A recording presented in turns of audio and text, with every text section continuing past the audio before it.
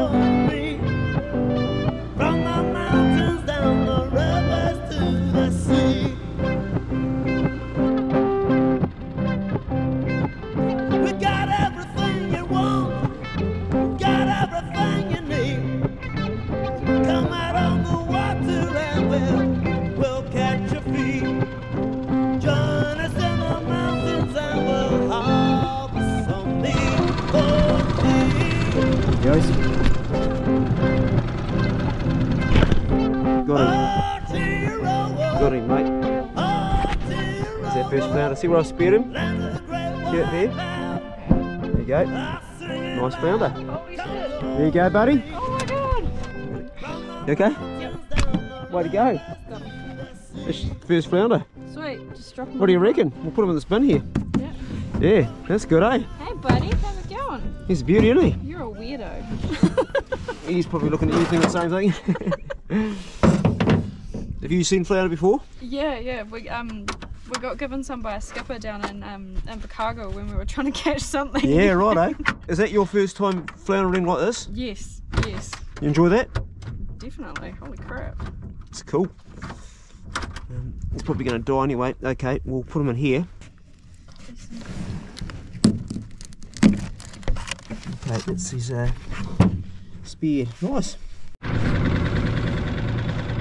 Kora's just spotted one. It's a nice one too. Nice. Keep your light on it, mate. Yeah. Well done. Couldn't see it, so I hope I got it. think so. Got it. There we go. Beauty. Beauty, mate. Well done, buddy. I'm going to pull you right. Yep. Mind your fingers there. Yeah. Okay. That's a good size one. I reckon it's the one you saw before. That's a cracker. That's an absolute cracker, mate. Working. Cool. That's a big one. Yeah, that's a beauty. Hell yeah. What do you reckon? That's good. He's slimy as. Ah, come on, stop being girly.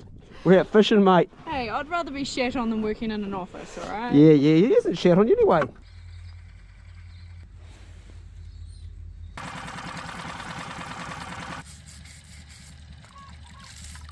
Because we watched that video that you put up on the um, project channel. Bird shit. Yep. Yeah, get that bird shit off. I don't like that in the uh, porridge. Yep. You take some for yourself, mate. There's plenty there.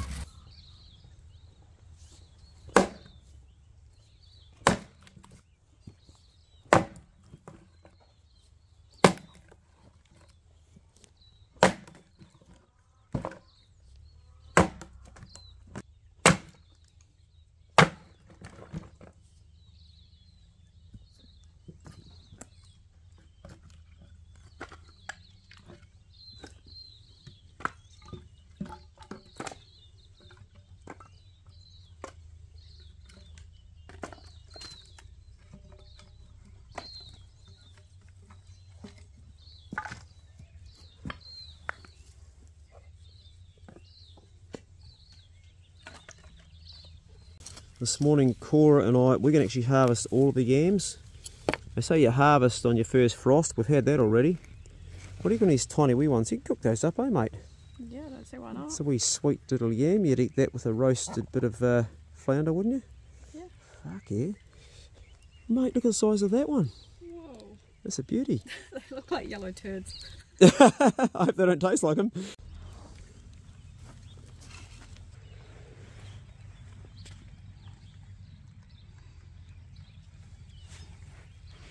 Nice big fat worm. Mm. Well, he's chopped in half. He's a deer worm now. Okay. Yeah, we're going to replace all the soil and put something else in.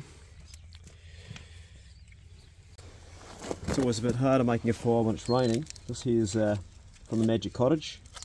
If you want to buy them online or see how they're made at least, um, just go and look at uh, Magical Cottage on my YouTube channel, search that.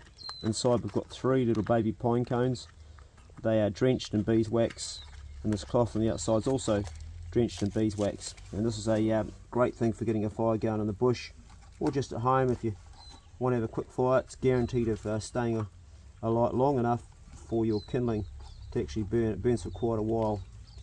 And uh, as you can see I've got just only a tiny little bit of uh, kindling on this, be enough. And I've also got water where I'm lighting the fire, so that'll do, that'll work. Oops.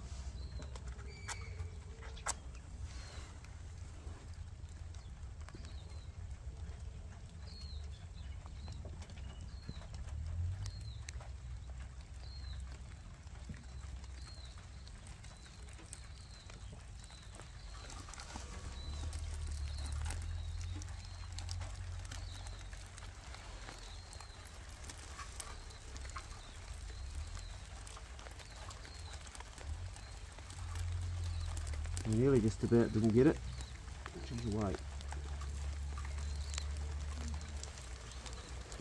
The rain's coming down now too. It's a good time to put a piece of wood over the top, keep the rain off it like this.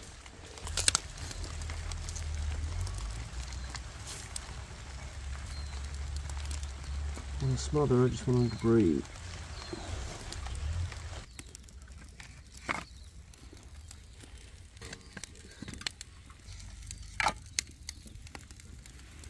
She's away. She's away. She's gone.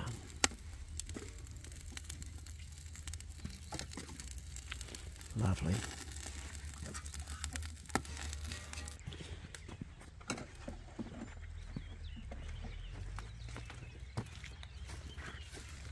Nice going, mate. Nothing left in here? Bloody good. Well, I reckon we had a bit of maybe some sheep poo, chicken poo, some seaweed, duck poo. I'll sort us out of the chicken house as well into this and then we can replant something in it again. Yeah, maybe yams again, not sure. You don't need to get all the dirt out, just enough so we can uh, work with it. Done a good job, mate. Bit Yeah. more. No, I reckon it's alright, eh? Yeah. Yeah. Just flatten it out and we'll mix some stuff into this and yeah, we'll do the red yams next. Good going. We've eaten actually a lot of these yams already, so that's what we've got left. That's alright, eh? Yep. Oh, you got some more there too. Oh, beauty. The other one's from down that way. Nice. Nice. What do you prefer, mate? The red ones or the yellow ones? Doesn't matter. Makes no difference, does it? They just look different. There's also apricot ones here too. Doesn't really matter if they mix up.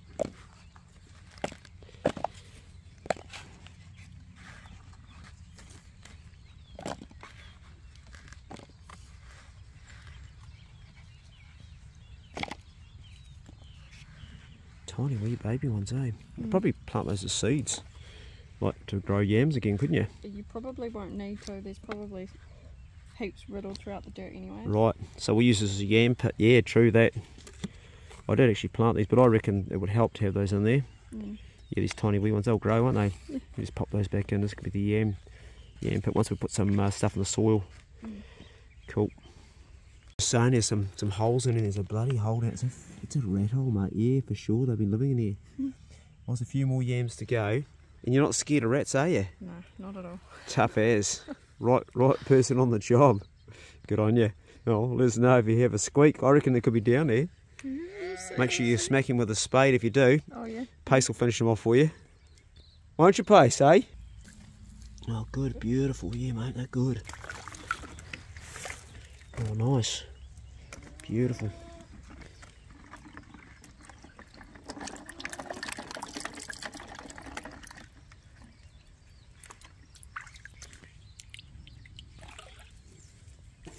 Good dog. Not for you dogs, okay?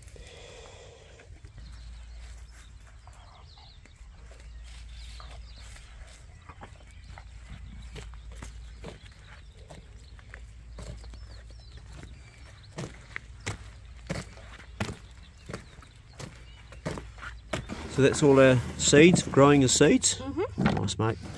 Oh, this is a lot because we've actually been eating quite a few of these, so that's that's a lot left over. Nice.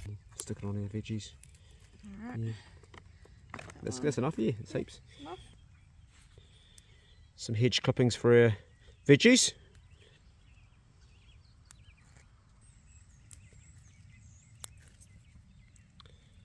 Nice.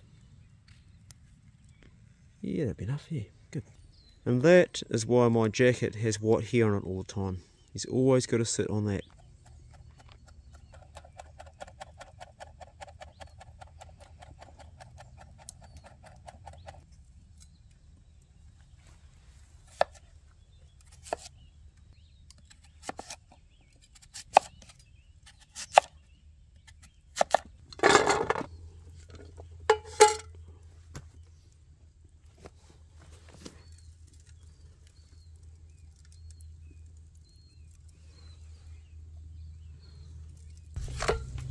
Okay, mate, you tell me if I'm putting too much in. Oh, I'll bring the potatoes, you can put them in the pan too, bud. Put some cumin seed on there. Paprika, a bit of ginger. Put them on top. No, I'll just do these first. a bit of turmeric. You don't want too much chili, do you? Oh, Okay, there's a bit of chili there and a bit of ginger. Right, you can pile some veggies on top of that, mate. Yeah, tear into it. Okay. Nice, nice. Some paprika. Good. You put the whole on, buddy. Yep. Those kumara around the outside, that'll be good. Doesn't it doesn't matter if though. Yeah, top up, that side up. That's this one. Yeah, no, that's cool. Uh, I'm going to put the lid on in a minute. That's good. Oh yeah. Yep. Good job. Uh, can you sprinkle those other herbs that are chopped up on top too? A little bit of salt. Sprinkle them on the veggies. Come down close. That's the one nice going. The. The garlic's the only powder that seems to always go hard in the packet, eh? The rest are good. Yeah. It always seems to, that's why I think fresh is better. Just convenient. Well, you can grab that lid and smack it on top, mate, while I'm doing this. That's our veggies, we'll let them roast for a bit. Smack it on, it'll be good. Wake it on. Awesome, nice job.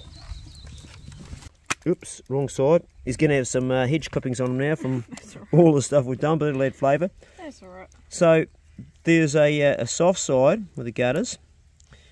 The top, obviously, is the head, the back. So when you turn it over, the soft side's the gut. So that there, you know, is the gut down there. Stick your finger in there and just scoop the guts out. And there she goes. It's pretty easy, eh? Yeah. Straightforward. Not really any rocket science. I got a bit of dirt in my finger from harvesting yams out of the garden, so uh, that'll add a bit of flavour for you when you're chomping on it. There's glitchy bits. Well, there we go. I bet guys that do this professionally in a factory going, geez, Clay, you made a dog's breakfast out of that. You could have done that better. But, uh, that's most of it anyway. Right, there might be a bit of um, stuff up in there. No, she's alright. You don't have to worry about um, doing anything else. They can go straight in the pan. It's already got the uh, added hedge clippings on it for flavour. So they come up to the estuary. We'll just open it and go like this. I'd say there's going to be little crustaceans in there. Check out that there. Oh, that looks like a little bit of a crab, is it? Mm. Yeah, I think so. Yeah, it's definitely. Um, oh, it's bits of shell. Look, see that little bits of shell. What do you reckon? Broken crab or hard to tell, really, isn't it? You see what that is? We'll take some stuff out of this one here. There it goes. Yeah, those are crabs. That's a crab. Yeah, so they eat crabs, eh? Yeah, there's a crab pincher, eh? Yeah. Definitely crabs. So they feed on crabs up in there. Oh, I thought that's what they feed on. Because they're always over those little crab holes.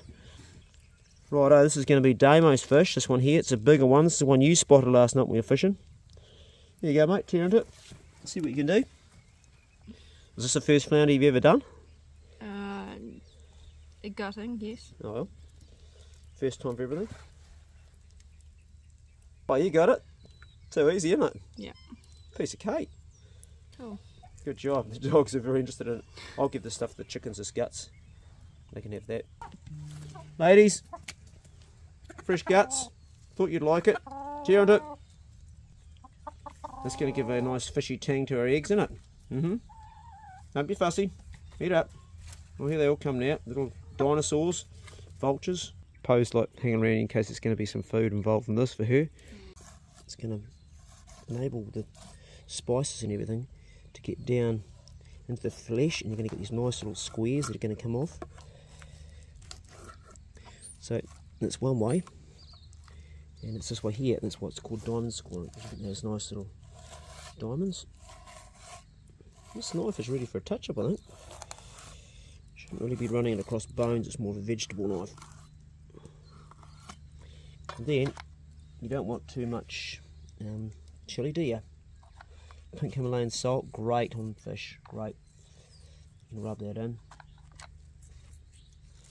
And here's the garlic that's gone a wee bit uh, sort of chunky in the packet. Really nice on flounder garlic.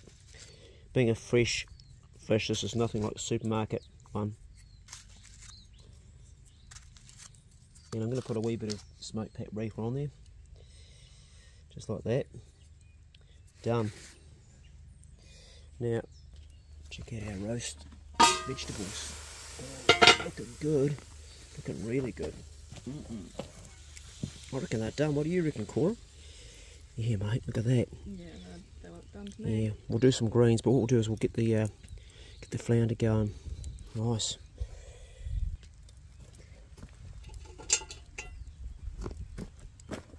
That's hot. That's the lid of the camp oven. We can cook your flounder on that, mate. Avocado oil. Thanks, Glenn. Oh, Gunny gave me that one there. Get that smoking and smack the flounder on. I didn't plant these that long ago and we've already got cabbages.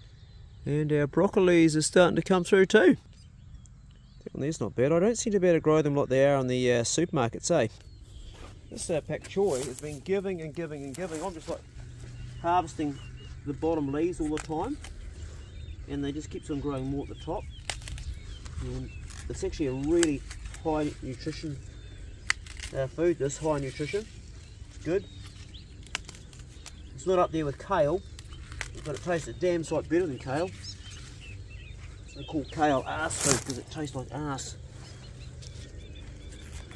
Two. These have been really good value. And this net's just ensured that the sparrows haven't thrashed it. Eventually we'll have a whole net over this garden, is the idea. Good. The black fantail's having a fight. It's chasing the other one out of its territory. See that? This guy here. It's a black fantail. He's like a little scrapper. This is uh, sorrel. This is a good one for you to grow, Kora, because it just uh, keeps on giving and giving. You can eat it just like it is too, mate. Just like that. You don't have to cook it. It's not like, um, uh, say, kale or uh, some of those other ones that you've got to do something with. This is just you can eat it like that. Um, do you want to try a bit? Yeah, try that one there. And tell me if you've tasted anything like it before. This is how you're breaking your fast because you've never eaten since last night, have you? And it's three o'clock. Have you tasted that taste before? No, Nah, right. It's a different, eh? Mm. Do you like it or not? it's not bad. Not bad, eh? Yeah, I wouldn't rate it high, but it's quite easy to put in stuff. No, you're not getting your mate. No, no. The old silver beets have got thrashed by the birds. Or is that there's something else? Is that sparrows or what? They're going, going hard on all of them. Yeah, got some spring onions coming up nicely. They're looking good. Might actually grab a bit of spring onion because this is just adds a bit of zing to the flavour of everything, doesn't it? Yeah, there's a nice one. Good thing about these is they keep on growing when you pick them. Now, when you put it in the pan, lay it away from yourself so you're not splattering yourself. It's got a big long hair. Is that a is that a uh, corner here on there? Yes, probably. Lay it in the pan, mate, but lay it away from yourself so you're not burning yourself. That's the way, nicely. Yep, just yeah. No, no, no. Okay, that's, yeah, that's one way to do it. Yeah, yeah. You, you can get away with that outside here, but in my kitchen you're not allowed to do that. Right, Two minutes, Yep. three minutes. We don't want to do too much, mate. We want to get it just slightly done. And we're only going to turn that twice. That's perfect. Nice. Two minutes on that side. There's the roe in there. Delicious, the roe. You don't like it? Screw your face up. Gonna do some greens in this here. I'll put it over the other way so you can watch his eyes when you're eating it. You can see ya. Oh yeah, look at that. Perfect. Perfect. Absolutely perfect. I think you're going to enjoy this, mate. we'll rest it there for just a couple of minutes. That'll still keep on cooking a little bit. Geez, the old bok choy's uh, gone down a bit. I put some of those wee tomatoes in there, the glass house, and we've got some of that. Right, let's turn it. Nice one. Got to get the crunchy skin back. Mm. You rate it. That's good. You rate it. Yep. Right, 10 you, out of 10 will do again. 10 out of 10. I'll let you eat as much as you want. Mm. I really enjoyed going floundering, eh? Yeah. Sound like Daymo coming now? He's got no muffler on his car, eh? Oh, yeah, probably then. Either that or it's a That's truck. some, eh? He's come right at the right time. Yeah. Yeah, Yeah, here he comes. Yep. Oh, he shut up at the right time, didn't he? Get on pace! Get on pace!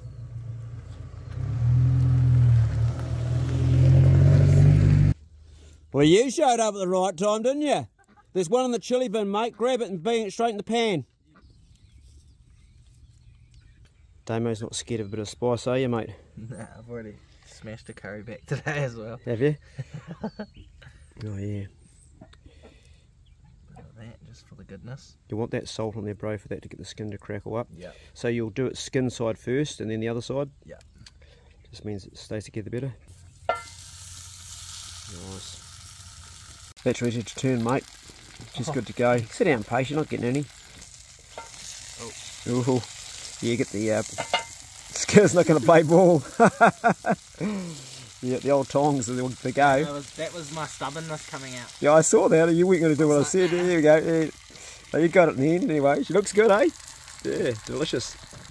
No, I was in my own head. I wasn't really listening to you. Oh, In yeah. my own head, I was like, I was like, nah, I'm just gonna flip it. Yeah, yeah, yeah. It's not a pancake, bro. It's a fish that you've diamond scored. It'll fall to bits if you flip it too much. What's that going on there? Uh, one of them is sage, I think. And the other one's oregano. Nice. We just did some hedge clippings out of the garden. Yeah. That looks good, bud. Old Pace is eyeing it up.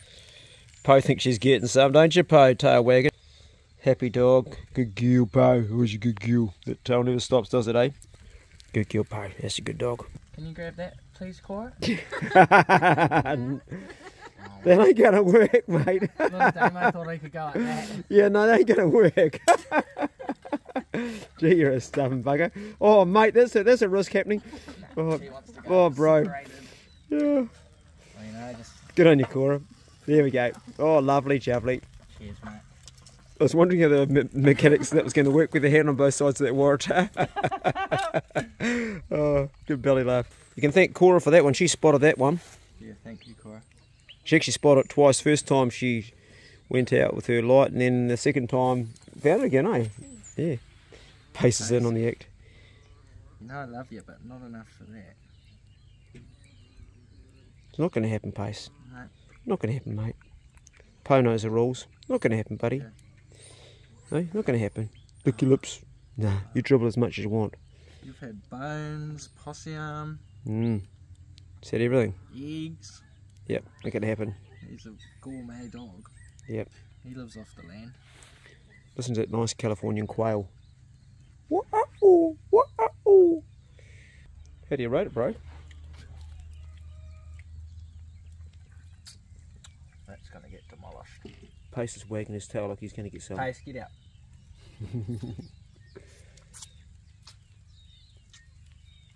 You look like you actually needed that. Looks like it's actually really important for you to have that.